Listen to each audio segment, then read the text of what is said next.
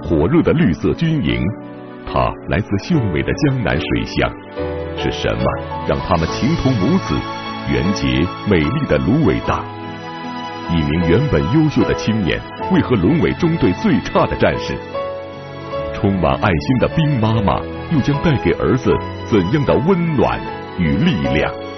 和平年代本期为您讲述芦苇飘香的时节。各位观众，大家好，欢迎收看和平年代。提起美丽的常熟，大家不一定非常熟悉，但是呢，说到京剧沙家浜，大家都会感到很亲切。沙家浜啊，是常熟市的一座小镇。六十多年前，沙家浜人民拥军杀敌的故事呢，就发生在这里。直到现在，当年那些军民鱼水情深的故事，依然被人们所传唱。每年春夏之交呢，是沙家浜最美的时候。湖中芦苇青青，随风摇曳，充满了江南水乡的诗情画意。然而，比这秀美风景更动人的是一群兵妈妈，她们个个乐观、阳光、自信，充满爱心，把温暖与关爱洒满了战士们的心田。今天呢，我们的故事就从其中的一位兵妈妈讲起。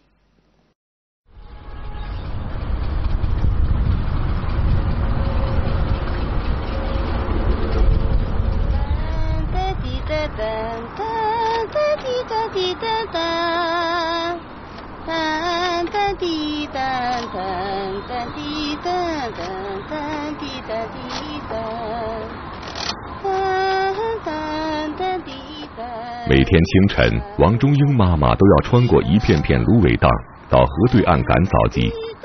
今天是周末，王妈妈更是起了个大早，特意到市场上精心挑选了一条新鲜的鲤鱼。他要亲手为他的兵儿子做上一顿可口的饭菜。王妈妈一家住在常熟市郊，虽说是靠着种地耕田养家的农民，但是街坊四邻却都亲切的称她为兵妈妈。这其中的缘由，除了王妈妈把自己的独生儿子陈军送到天津当兵以外，还因为他在常熟又多了一个兵儿子丁傲坤。哎呦，好香啊！这个鱼，哈，这鱼我们常说的就是叫鲜鱼啊。哦。我呢，特别会儿子跟儿子做的，他特别喜欢我做的那个鲜鱼了。嗯。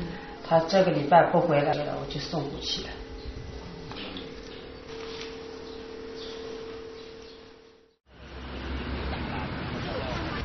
儿子，我看你了。妈，你走过来了。哎呦，这几天不看，好像又有神气多了。现在表现的还好啊？还好，还好。还好，那我就放心了哦。很干净。嗯，好吃。好吃。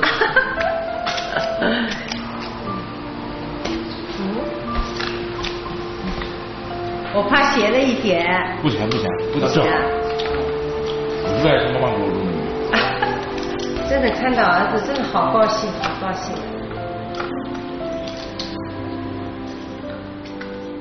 看着眼前这个每天都在取得进步的儿子，王妈妈露出了欣慰的笑容，思绪也回到了与儿子邂逅的那个秋天。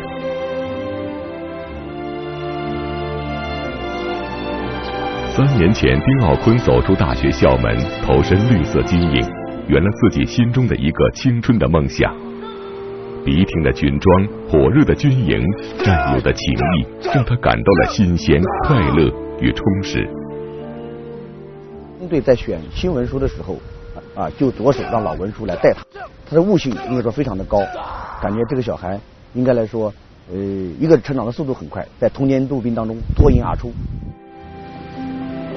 火热的军营生活让丁傲坤感受到的不仅是大家庭的温暖，更重要的是带给了他一种积极、阳光、乐观的心态。让他一点点驱散了弥漫在心头的阴霾。从丁傲坤记事的那天起，父母的争吵就一直萦绕在他的心头。四岁那年，父母感情破裂，不久父亲提出离婚，随后便离家出走，扔下了体弱多病的母亲和年幼的儿子。也就是从那时起，丁奥坤便生活在孤单、寂寞和恐惧之中。他开始变得沉默寡言，失去了一个孩子本该拥有的快乐与天真。爷爷把丁奥坤接回到自己家中，从此爷孙俩便相依为命。每个星期天，爷爷都会把丁奥坤送到他母亲的住处。让母子二人能够见上一面。每到星期天下午的时候，一看到太阳，我心就特别紧张，因为我知道太阳慢慢的落下山以后，我就不能跟母亲在一起了。我特想把太阳朝上再推一推，让它一直挂在天上，能让我多一点时间跟母亲在一起。我每个星期都特别特别想，如果这个世界上只有一天有一个不落的太阳，该有多好。带着这个美丽的心愿，丁奥坤一天天长大。在他第一次穿上军装、紧握钢枪的那一瞬间，他觉得自己已经成为了一名男子汉，一种庄严神圣的感觉油然而生。那一刻，他在心底也许下了一个心愿，他希望能够逐渐化解多年以来父子之间的矛盾与恩怨。与父亲和谐相处。于是，在丁奥坤二十一岁生日那天的晚上，他拨通了父亲的电话。他第一次，他把我电话挂掉了。第二次的时候，他接通了，问我什么事情。我说：“爸，今天是我生日，我正让你陪我说说话。”父亲说：“要多少钱？要什么东西？都跟我讲。电话也还是少打的好。”最好不要给我打电话，就把电话挂了。父亲绝情冷酷的话语一下下刺痛了丁奥坤的心。那一刻，他的内心感到了前所未有的孤独与失落。刚刚建立起来的自信与热情，又被父亲的冷漠打击到了零点。我真的就感觉被全世界抛弃了一样，感觉心里。总是压着一块东西，释放不出来。基本上天天也就是跟行尸走肉一样。我那个时候只有一个想法，大不了就不当这个兵，就连自己亲生父亲都不要我了，我在部队还有什么意思？他就开始慢慢的逃避训练，嗯，所以很多次他可能连早操都不愿意去出。为了激励丁奥坤，队长傅宇帅使出了激将法，他撤掉了丁奥坤文书的职务，将他重新安排在战斗班中。但是由于丁奥坤的消极情绪，他成为了中队里成绩最差的一名战士。正当丁奥坤的情绪处于最低谷的时候，二零一零年秋天，常熟市委市政府、市人武部等部门组织了百名常熟妈妈与百名驻常新战士。结对认亲的活动，活动的目的就是为了帮助那些经历过家庭变故的战士们，让他们能够在亲情的关爱下重拾自信、快乐的生活。市委市政府组织的百名长熟妈妈与驻常士兵结对认亲活动，以及十大服务品牌进经营活动，就是希望通过为部队。办一些实实在在的事情，来弘扬光大光荣传统。如何挑选呃合适的兵妈妈与我们的战士结对认亲？呃，我们也做了一些考量，就是说这些兵妈妈的子女，一是在外地服役，他的自身呃首先要自信、理性、有母爱，能够给他们带去关爱。让他们能够从心灵的深处产生自信，能够从心灵的阴影走出来。也就是在这次活动中，兵妈妈王中英走进了丁奥坤的生活，她的出现犹如一盏明灯，点燃了丁奥坤封闭已久的心灵。我第一次见到他的时候，这个孩子是很乖、很优秀的。他的脸好像心思重重的那种样子。我问他，他不吭声。他给我第一眼的感觉，他穿的很朴实，给我一种很亲切的感觉。而且在跟我说话的时候，又感觉他很和蔼，给我内心又感觉到，好像这个太阳可以永远不会落。当天晚上，沉醉在冰妈妈亲切的笑容里，丁奥坤感受到了一种久违的温暖与幸福。队长查完铺以后，丁奥坤按捺不住激动的心情，偷偷跑到了电话亭，拨通了冰妈妈的电话。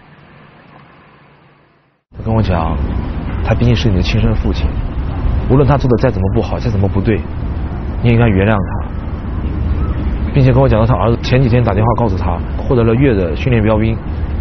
那个时候我就在想，只要认真愿意去练，都可以得到。然后我就跟冰妈妈说，会拿一个训练标兵给你的。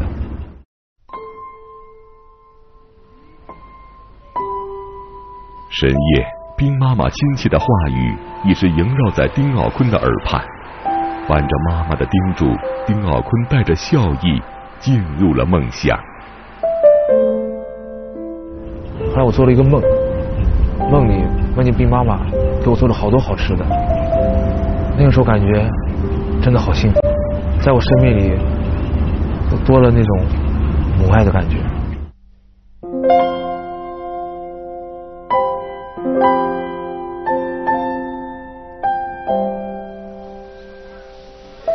第二天，丁奥坤起了个大早，像变了个人似的出现在操场上。由于体重的原因，军事训练是令丁奥坤最没有自信的一个环节，而如何突破器械训练这个难关，对他来说更是一个严峻的考验。妈妈的鼓励给了他无穷的力量与自信，激励着他勇于接受挑战与考验。啊，有一天晚上，我是十点多一点，哎，去查哨，我就发现啊，这个叫机械厂看到了有人在做器械，啊，我过去我过去电筒照过去的时候，我看见了丁奥坤在那个地方，虽然我什么都没有说，啊，但是我心里很清楚，他已经就是说愿意通过自己的实际行动，来一步一个脚印来证明自己。正当丁奥坤暗地里使劲。一步一步朝着训练标兵的目标努力的时候，一次意外事件的发生，又让他重新陷入到迷茫与失落中。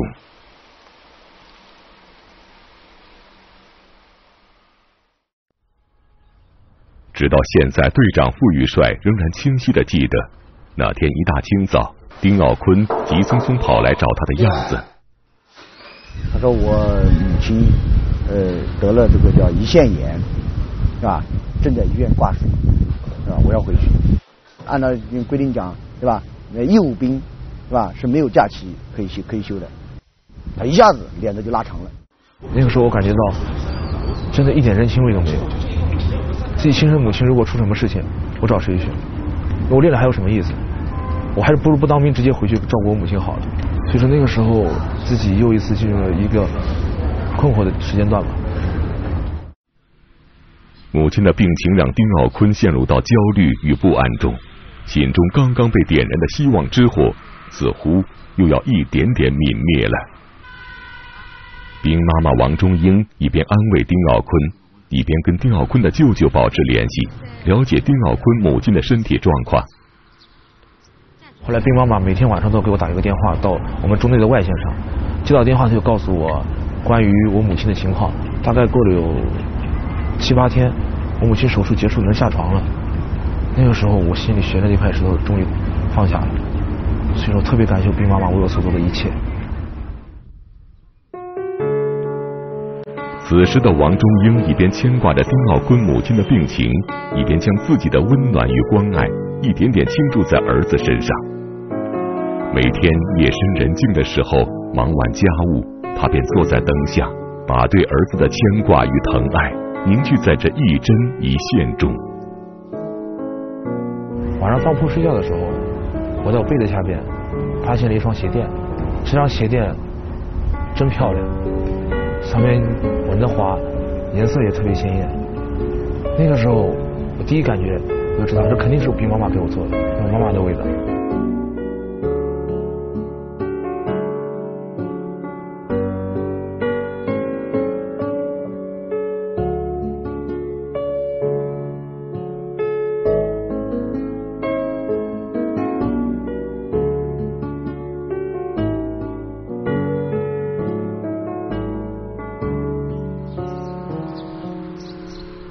个周末，武警常熟市中队的官兵们都要把一位兵妈妈请到军营中来。这个周六，官兵们邀请王中英妈妈前来做客。谈起妈妈对他们的关爱，官兵们的心中涌起了阵阵暖意。说妈妈又来啊，给妈妈包一顿饺子，那妈妈尝尝我们大家的手艺。啊，谢谢你们啊！妈妈，自从穿了你的鞋带以后，我感觉晚上上哨脚都不冷了。脚底下热乎乎的，我感觉我一我跑步的时候没有劲的时候，我想一想，我脚底下穿着妈妈的鞋垫，我就感觉充满了力量。妈妈，我穿了你的鞋垫，我感觉我的脚也不烫了。以前我以为就金广峰一个人，我发现，哎，我们每个人都有，你对我们真好。你们都是我的病儿子。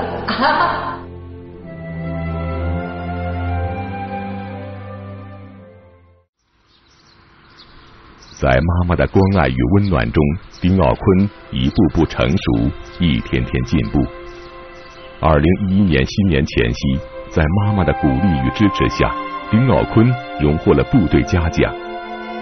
也就是在这个时候，丁奥坤做出了一个决定，他要用独特的方式记录下自己点点滴滴的成长，来回报妈妈对他的关爱。每次进步，我都叠一个纸鹤，哪怕今天跑步快了一秒，就叠一个；双杠多做了一个，我也叠一个。慢慢的累积起来，等我拿到训练标兵的证书的时候，我想把这些纸鹤连同我的证书全部送给我的兵妈妈。丁奥坤获得的奖励越来越多，纸鹤也越折越多，他对妈妈的爱与依恋。也与日俱增。我每叠每一个纸鹤面前，我都有对妈妈的一个愿望。我相信千纸鹤可以把我的愿望带给妈妈。纸鹤虽小，但它却倾注了我对妈妈的爱。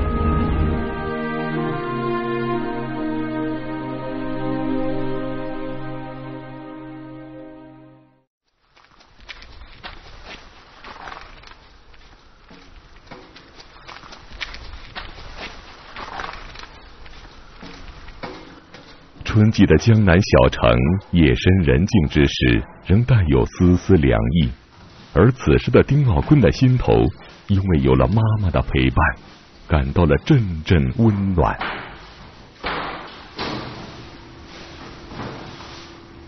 哨兵下哨，请上阵。哨兵是否明确？明确一枪。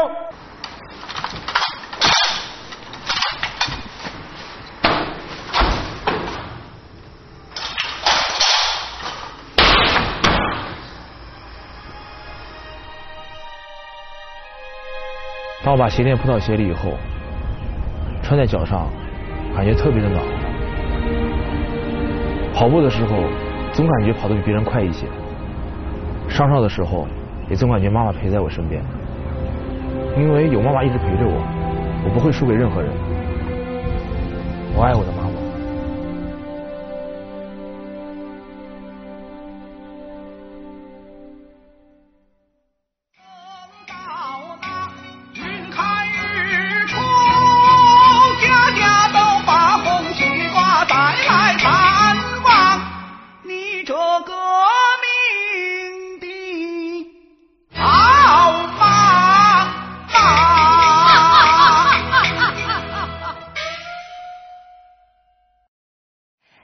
五月份又是一个芦苇飘荡的时节，又有一百名兵妈妈和一百名驻守常熟的新战士相识在青青的芦苇荡，结缘于美丽的沙家浜。